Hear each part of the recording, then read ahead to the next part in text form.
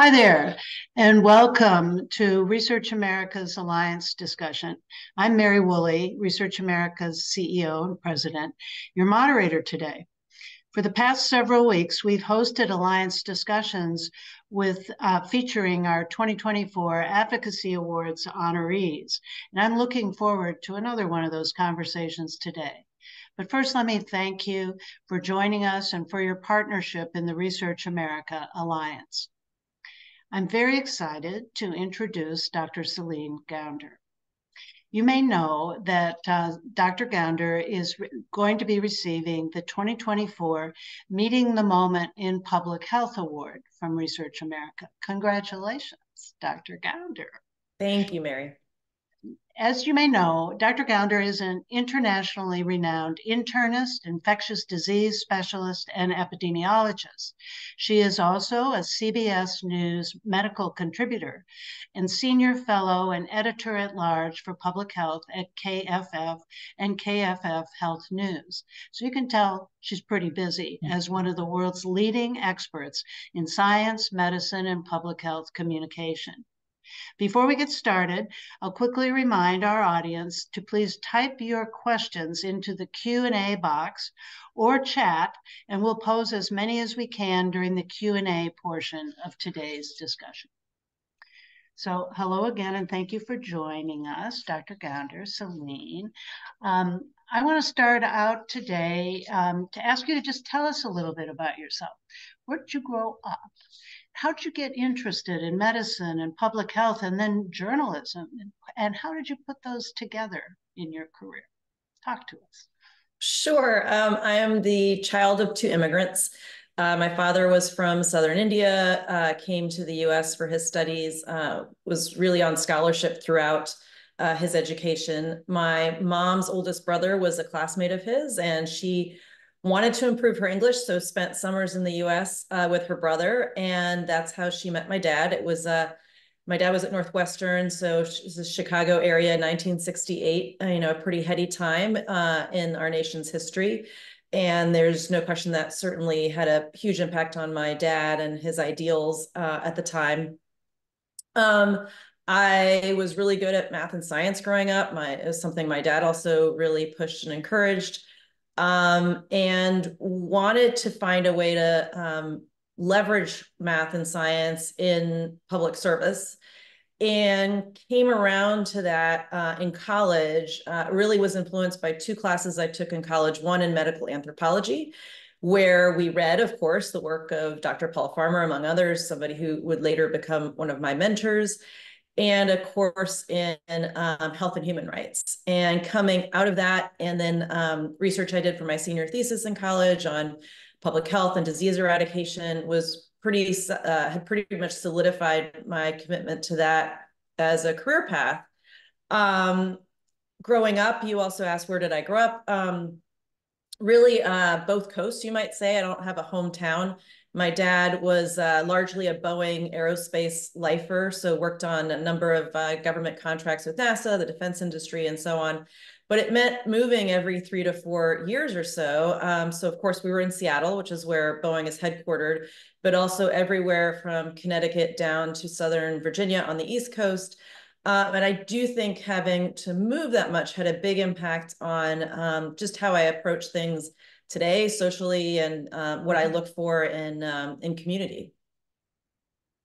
Well, that is uh, quite a story. Among other things, we're, we're going to have to find a time to talk about Chicago in 1968. That's my hometown, and boy, was I there and part of that.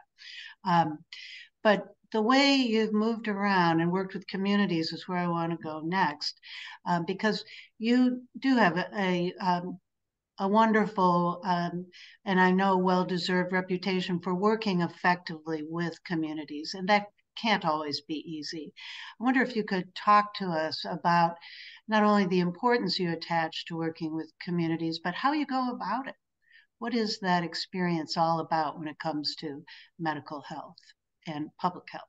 Yeah, I think where I really learned about that was in um, the earlier part of my career working in global health in Southern Africa, uh, much of that was uh, spent in South Africa, but also in a number of other countries. And I found myself getting pulled in to um, help with a lot of community activities, whether it might be a town hall or working with local journalists or patient organizations. Uh, and this was also a time when uh, there was an understanding that if you're going to be doing research of any kind um, in these kinds of communities, uh, that you really need to have their involvement and they need to be empowered uh, to engage and weigh in. And um, there was already a culture of uh, community advisory boards in the kind of research that I was engaging in. And so really learned about um, the importance of that through that experience. Uh, also got mentored by folks like Peter Staley and Mark Harrington, who of course were very important HIV activists in the early days of the uh, epidemic here in the United States. And, you know, that's uh, much of what they also uh, teach is the importance of uh, activists and, and how um, they really do have uh, value in guiding uh, science and how we do science. Um, more recently, and this is really coming out of the 2016 election, I had sort of this hybrid response where I think a lot of, um, you know, by this point I was um, already engaged in journalism, not just medicine and public health. And a lot of journalists at the time were asking themselves, how did we miss how mm-hmm. popular um, tr uh, Trump was going to be in many parts of the country? And uh, there was this notion of that uh, that they had been neglecting quote unquote flyover states, that they had overly focused their reporting from coastal uh, big cities. And what I came away uh, from the 2016 election was that I had done something similar, frankly, with medicine and public health. I knew Southern Africa better than I knew the Midwest or the, the South in the United States. And so um, decided I was going to focus in on some of the um, areas that had the worst health outcomes in the US. Mm-hmm. Uh, around the same time, Chris Murray at the Institute for Health Metrics and Evaluation, that, that group started to release these papers in JAMA and elsewhere with these maps of burden of disease, um, starting with just excess mortality. And what I took away from that was is really a story. Every map is a story of disease in this country.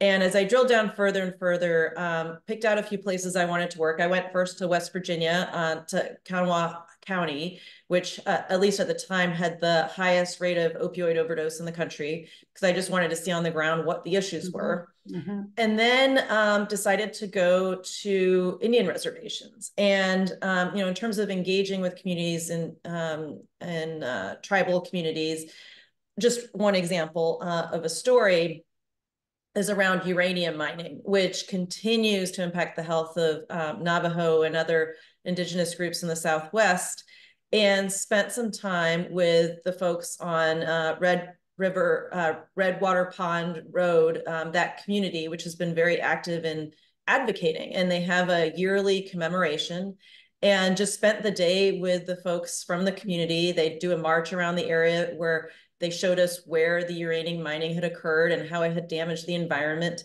and really just spending time listening. Um, I think that's perhaps some of the most important work that needs to be done. I, lo I love all of this history and you know your your experiences on the ground and how it's influenced you and I hear those themes about telling stories that I associate with the very best journalism and listening and uh, journalists are so skilled at that. Now, these are skill sets that the um, science trained community, including the public health community, don't necessarily receive as part of their training, um, even though uh, public health, by definition, you know, sort of by remit, uh, has to engage with the public. Do you have any suggestions about how the public health community can do better in that community engagement? Well, I think first listening and secondly, show that you care. Um, I think those are probably the two most important things. Uh, mm-hmm. and so that might mean having more town halls, more engagement. Uh, one of the things I also learned working um, in Southern Africa is the importance of if you're going to have a town hall meeting or something like that, you need to provide food, you need to provide transportation uh, so that it's easy for people to engage and attend and take part. Um, so those would be some of the simple things. I, I think part of what's really challenging in storytelling is that people want to hear stories usually of individuals uh, individuals who are facing a challenge and how they are overcoming that challenge. And public health is a story of communities, not individuals. And so yeah, it can be yeah. challenging, right, to tell that story in a way that will resonate um, with another individual. So how can we make these stories of public health as personal as possible? And that means sometimes you as a public health worker may need to be part of the story. That's and that I think is very challenging in general for science trained individuals who are more likely to stay back, to hold mm-hmm. back, and not engage in their personal story. Um, it's one of the reasons I, you know, I like to start out in these conversations with some personal information to try to get us all comfortable with the fact that we're we're all in this together. We're we're um, people like everybody else. So thank you for making that wonderful point so part of the problem with communicating about public health these days, especially I'm thinking about during the pandemic, but actually I think it's always been true, is that it seems to me, and I'd love your view on this, that it's always had a challenge around being political. And today we use this term politicized, you know, politicization, but it because there's a um, public remit to public health by you know its word its name says that that sometimes it involves policies and laws too mm-hmm. to enact real and meaningful change like famously smoking um, seat belts. Actually the list goes on. You could include um, fencing swimming pools to keep people healthy. So what has what's gone off the rails in your judgment um, in more recent days as we've been communicating about COVID and preventing um, its spread and keeping us all healthy and related issues? Well, public health is about uh, collective responsibility and collective mm-hmm. action. Mm-hmm. It's also about the allocation of scarce resources. So, really, when you're talking about individual versus collective and you're talking about scarce resources, that's by definition political. So, I don't think you can really escape that. Um, I think another question to ask is should public health workers be activists? And there has been debate about this. I think mm-hmm. that really depends. Are you working for the government? As a public health worker or expert? Or are you, say, working for a community-based organization or in academia? And so I think the roles of people in public health, depending on your institution, is going to differ. Um, I do think government workers need to be transparent about their values and should refrain as much as possible on imposing their values on others. We can lay out what are strategies, what are approaches for tackling different problems. Uh, we can talk through the policy trade-offs and what is the best data available um, to support different policies. Um, you know, what are the health trade-offs, the economic trade-offs, the, the social trade-offs. I think one of the reasons you've seen the rise of this anti-science movement is the perception that science leads to regulation. And in fact, it does, right? Um, in public health, we understand the importance of evidence-based policies, but we also have to acknowledge that people's opinions are not just based on scientific evidence. They're also based on these economic considerations, especially short-term economic uh, mm-hmm. considerations. Mm-hmm. mm-hmm. And a lot of these opinions are also being formed by what is acceptable or the norm in, in a community. Right, and that gets back to this theme about knowing communities, you know, mm-hmm. being listening to communities, so that uh, so that you and and your colleagues and others in public health uh, understand what some of the trade offs truly are um, we can't escape that reality. And we could all hope for the trade offs are always going to argue in favor of better health for the most people all the time. But it's tricky, as you point out, especially in the short term, even versus the wrong, longer term. Um, thank you for bringing in trust too. I think that's on everyone's mind right now with a decline in trust of all institutions and of people with public uh, responsibilities, elected officials very much included. Um, and yet people do share a commitment to wanting uh, better health for themselves and their families you know and, and uh, public health plays a big role that in that you you have a podcast i'm, to, I'm told um, called epidemic and you were exploring the eradication of smallpox what can you tell us that you learned from that or that we can, might be able to apply now or in general on public health challenges? I think one is this notion of moral imagination, which is how do you judge the uh, morality or ethics of different uh, policies that you might implement? And is that, um, should we be measuring that against what's obvious? Uh, or should we be measuring that against uh, what's possible if we uh, dare to imagine bigger? Uh, and I would argue that we should really push ourselves to imagine bigger and not just look at what are the options uh, in front of our noses. Uh, sometimes, uh, quite literally, in the case, for example, of masking and, and COVID. Um, you know, we've been very focused on these specific tools for controlling COVID. So, vaccinations, masking, um, testing, treatment.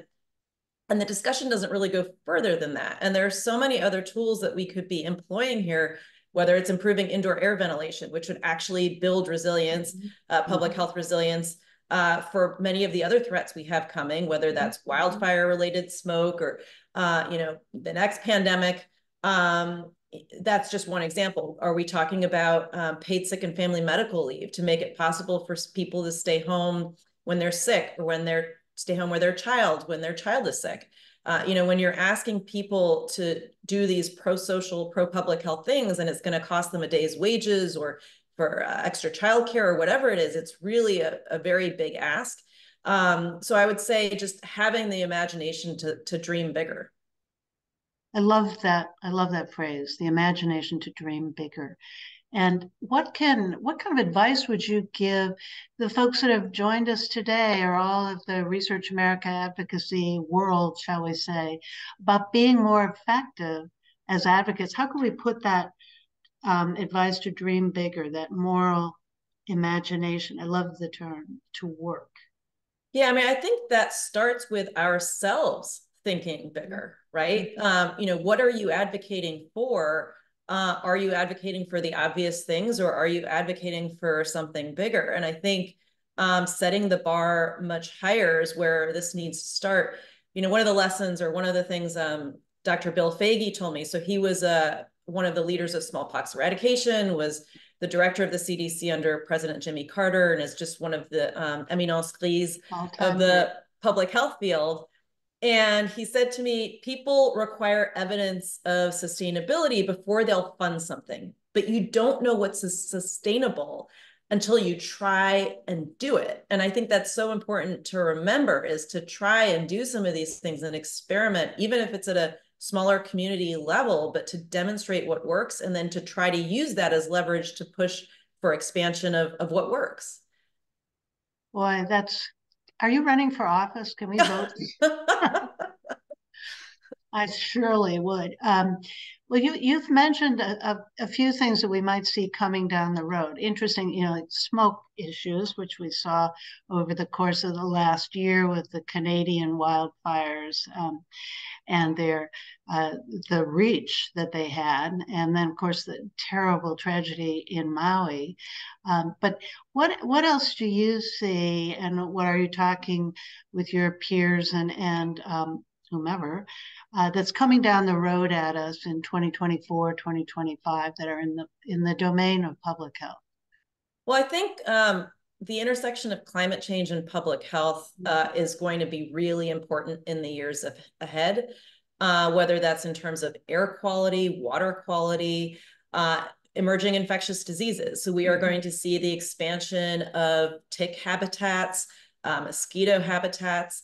Um, are we going to be prepared for that? And that's partly a question of surveillance. It's partly a question of um, our healthcare system, which uh, unfortunately is coming out of the COVID pandemic really pretty battered it's a question of being able to communicate with the public. And I think related to that is also this um, parallel um, disinformation um, epidemic, mm-hmm. uh, which I think is really fueling many of the challenges we're seeing in public health. Mm-hmm. Do you have any um, that that's a big one, of course, the disinformation epidemic, and I've forgotten who coined that term, but I do think that's relevant.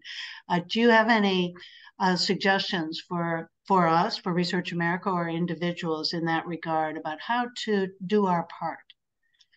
I think um, we think about disinformation in a very siloed way. So we think about it for vaccines or you know public health issues. We think about it for healthcare. We think about it for national security or elections, and we're not thinking about it in a more holistic, coordinated way. Because if you look at who's actually producing that disinformation, who's funding it, what their motivations are, it really does come down to a certain um, uh, lowest common denominator. And attacking it in a cross silo, cross industry, cross sector way, I think is what it's really going to take to get a handle on this. And we're just not thinking about it in those terms right now. Boy, that's uh, wise wise words. Um, I know there is because we're involved in it um, a coalition for trust in health and science that is trying to uh, do more in that space uh, by putting all the best minds and the best work together, learning from each other instead of one, you know, each of us trying to do individual efforts as important as they are. Um, well, uh, time is flying here, and I suspect that we have some questions from those who are are listening. So I'm going to ask Jacqueline to join us on on screen here. And Jacqueline, do we have questions for Dr. Gounder? Yes, thank you, Mary, and thanks, Dr. Gounder. This discussion has been excellent so far. So for our first audience question, uh, going back to what we were discussing about uh, science communication and the public, uh, given the complexity and nuance of health and medical information, the reality that fake news has faster legs than real news, and people's tendency to research info on the web, uh, what advice would you give for researchers about communicating with the public? Um, I think one, making yourself available. So a lot of the work I did during the pandemic was not, I mean, you probably, many of you may have seen me on television or in other um, media outlets, but a lot of the work I did was actually with local community groups too, and making yourself available. And sometimes it's just listening and letting people vent and showing that you care enough to spend the time um, because that's actually what convinces people. You don't have to spend a lot of time providing facts. It's showing that you care and that you can be trusted. And then honestly your your message that you're delivering can be really uh, short and to the point. and then you know again make your, yourself available for questions about that. Um, but i think that's how i would reframe the way people engage in communication. And communication is not necessarily mass media either. Mm-hmm. Um, I think, you know, the way I frame it is force equals mass times acceleration. We all have a certain amount of force. Mass, think of that, that as the size of your audience. You're just going to have a lot more acceleration with a smaller audience than a big audience, especially if you're from that community. And not to view that as less prestigious and less worth your time. I think academics in particular like to publish in the most prestigious journal uh, it's not the same thing with science communication. It's not necessarily the most prestigious outlet that's going to have the biggest impact. Great, thank you. That, what was that um, uh, formula again? Mass, say it again. You're sounding like Einstein there. it's physics 101. Uh, force equals mass times acceleration. We, you know, we all have about the same amount of you know force but it's like what is the mass you're taking on? And and you know that's going to predict how much acceleration you're going to have on that issue or with that or with that audience. Wonderful. Okay i knew we could bring physics in somehow. Sorry jacqueline go for it. Sure.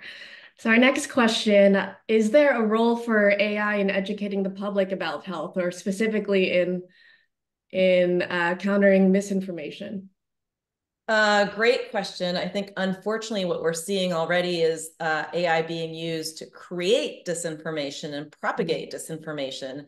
Uh, there are um, companies work, looking at solutions um, to curb disinformation. I'll just give you one example of a company called Clarity.ai. They're based out of Israel, where they are working to identify uh, photos, videos coming out of, for example, Gaza, um, to identify what is real, what's a deep fake. I do think we need countermeasures like that. Um, and that's going to be important in, in science and medicine as well. We've seen a number of images in various scientific publications that were falsified or altered, uh, changing the scientific results. And that has created scandals at various different institutions. Um, and so I think there's a need for that in science as well.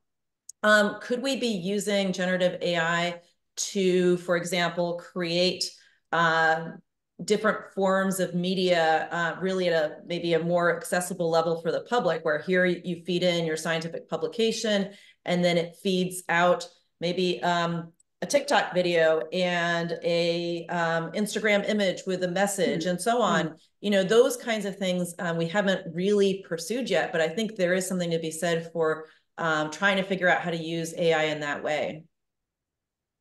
Wow. Great. Thank you. That, yeah, very interesting because I know it takes yeah. time to make those reels. So if you just input and it does the work for you, that's great for scientists. Um, so next question, uh, you have an amazing background, Celine, in both journalism, medicine, and public health. What kind of barriers have you encountered in working to get your messages out to the largest and most important audiences? Um, I think one challenge is you have different codes of ethics and professional duties in each, and to whom is your responsibility. And they're not the same. In patient care, your responsibility, your duty is to the patient in front of you in public health, it's to the community. Uh, in media, it's to your audience. And so those can sometimes come into conflict, mm-hmm. and it's something I still um, sometimes struggle with. Uh, in my mind, I think of it in terms of my commitment is to public health first. Uh, if I'm doing clinical work, absolutely to the patient and to um, you know, to, uh, to the journalistic norms um, third. And so that means sometimes I may not be as aggressive with certain things because I do think it might cause somebody harm or cause a community hmm. harm. Um, and, you know, that's just how I balance that. You know, that is uh, true. I'm going to jump in there. That is really a, a thoughtful um, dissection, if you will, of the different audiences. I, could you add elected officials, elected and appointed mm -hmm. officials to that and how you think about and might advise others to yeah. think of responsibility? Well, there's, yeah, there's certainly a different audience. And I would say elected officials are accountable to us. So I don't have a responsibility to an elected official unless I've been tapped as an advisor, which of course I have been in the past. Um, but I, I, think, you know, in my current role, they're accountable to us. And so it's really yeah. Um, how do you hold them accountable to what they we think they should be doing or to what they um, say they're going to do beautifully said. You can come work for us anytime. Sorry, Jacqueline, did you have any more oh, questions? Yeah, I believe we have time for one more, and then I'll turn it back to you, Mary. Uh, so, Celine, we've had several questions um, on climate change. How do you mm-hmm. gauge uh, public acceptance of climate change as a true threat? Are we getting there? I think you have to make it as concrete as possible. Um, there are some places you just can't avoid um, what's happening in front of you. You know, if you go down to Miami, where you have climate gentrification, where people are, uh, you have developers that are buying up land that was historically um, owned and, and inhabited by communities of color, um, that's now being redeveloped for wealthy or communities who are moving away uh, from the water's edge. Um, you know, it's clearly happening there. Um, you know, what's happening with uh, dengue or chikungunya in, in certain years.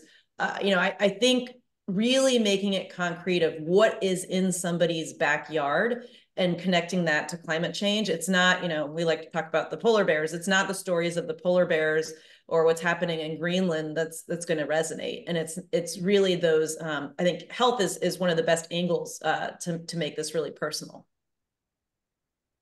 Boy, we, we agree. So, you know, the I think the um, health story around climate change is kind of late in becoming uh, as prominent as it deserves to be. Mm-hmm. So uh, that at least makes me feel that things could be moving in a better direction. we got a long way to go, though, right? right.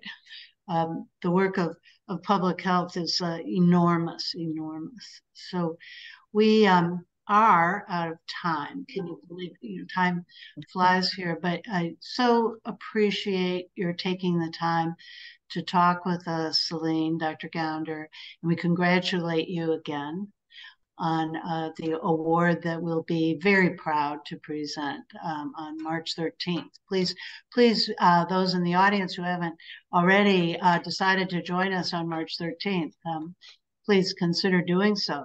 I want to make one quick announcement before we do end um, today's gathering.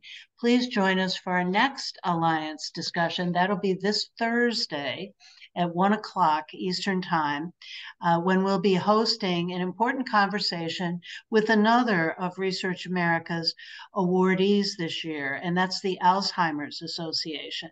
We all know what um, an enormous um, and, and, still unsolved challenge uh, the Alzheimer's um, epidemic, we can say, uh, truly is. So we'll be joined by the president of the Alzheimer's Association, Dr. Joanne Pike, and um, her colleague, Ms. Myra Garcia, who's been serving on the association's early stage advisory group. They're going to be talking about this challenge and what it takes to be an effective advocate on behalf truly of us all. So to register, um, please take a look at the link in the chat and think about being with us two days, uh, just two days from now. We look forward to seeing you again soon and to seeing you soon, Dr. Gounder. Keep doing great things. Thanks, Mary. Bye-bye.